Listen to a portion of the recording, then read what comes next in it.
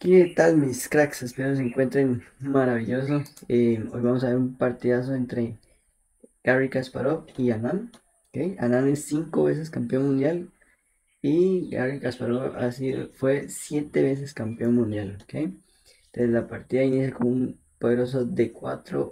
Anand responde con caballo F6, C4, E6, caballo C3 y alfil B4. ¿okay? Esta es una jugada teórica es la defensa Nimzo-Indi con alfil B4 clavando el caballo de C3 preveniendo así que pueda proteger la casilla de E4 ¿okay?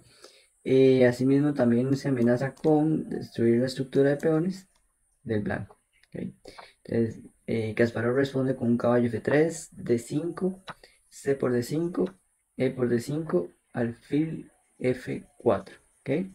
es una jugada que desarrolla el alfil eh, C6, dama C2, es una jugada muy típica de la posición. Ahí si alfil por, puede que incluso tome con dama por para dejar esta columna semiabierta. G6, bueno, aquí por parte de Aran es un poco impreciso.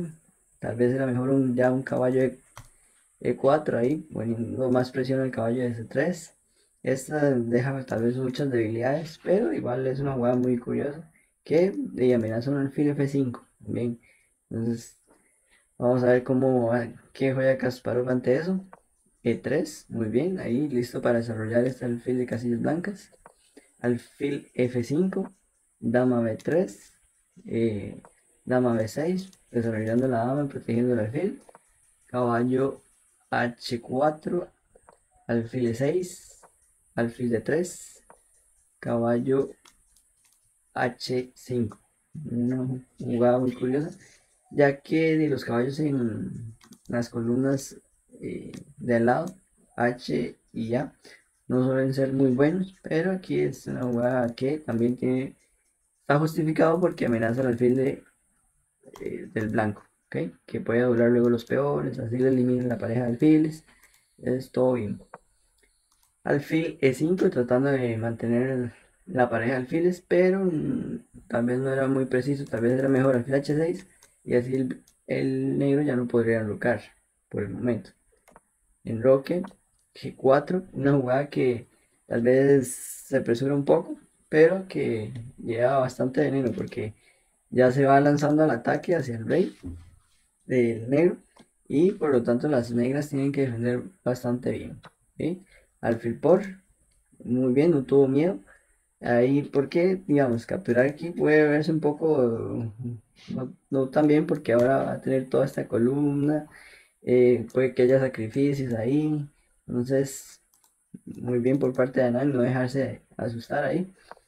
Torre G1 es un gran movimiento, activa la torre, ataca al alfil, excelente, alfil E6, muy bien, dama C2, tratando de llevar la dama al ataque hacia el rey caballo B, caballo D7, perdón. Eh, se conecta las torres, ayudando a coordinar más eficientemente las piezas en un futuro. Eh, y amenaza al alfil, eliminar ese alfil.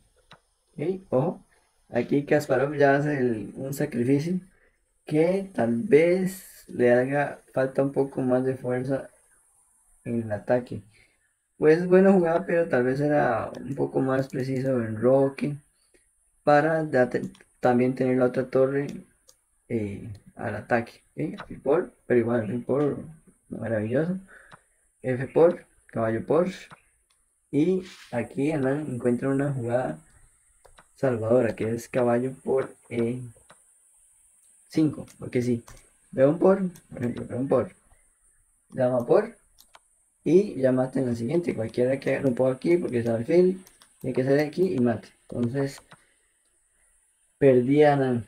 Y Anan encuentra la maravillosa jugada de caballo por E5, caballo por F8, rey por F8, ¿verdad?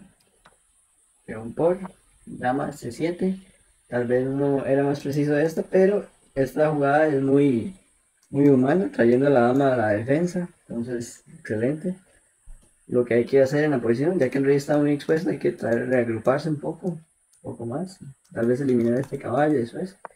F4 ahí en Kasparov tratando de lanzarse al ataque. Dama F7 ahí poniendo las piezas, protegiendo al rey. En Roque, que importante. Alfil F5, dama B3 saliendo del ataque de las negras. Y A5 por parte de Anam. Una jugada muy buena. Ya poniendo un ataque hacia el flanco de la dama. A donde está el rey de las blancas. Es muy bueno. Caballo E2. Caballo G7. tratando de quedar un poco más este caballo. Por tal vez tratar de poner el caballo en E6 para pues, tocalizar este peón. Y sabemos que los caballos son muy buenos para tocalizar piezas. Eh, caballo D4, alfil C4, torre G3. No fue muy preciso. Ahí era mejor un sacrificio de torre por caballo. Pero igual muy difícil de ver eso. Torre G3, alfil por caballo, peón por. Y aquí ya las blancas eh, se rinden. ¿Por qué? Porque vemos que el rey blanco, aunque están estos dos peones, están muy bloqueados, son dos piezas contra la torre. Em, las negras van a formar un ataque hacia el flanco de dama. Entonces las torres no están, no van a poder hacer mucho, están sin juego. Y rinden, Kasparov rinde. ¿ok? Eh, bueno, es una partida muy curiosa que aunque tenga dos torres, las dos piezas de más, podemos seguir viéndolo un poco más. Digamos, aquí, por ejemplo, caso, Anam podría seguir con un torre C8, tratando de abrir esta columna. Eh, aquí hace torre de G1, doblando las torres. Alfil G6, para que no hayan cosillas por ahí. F5, caballo por, torre F3 y C5. Y ahí ya las negras quedan bastante mejor. Ok, espero que les haya gustado la partida entre Anan y Kasparov. Hay varios detalles. Hubo casi que enroques de. No, o sea, hubo enroque de los opuestos. Y eso siempre termina casi que, que alguien tiene que ganar. Entonces, espero que hayan aprendido bastante. Pura vida. Se cuidan. Nos vemos en un siguiente video.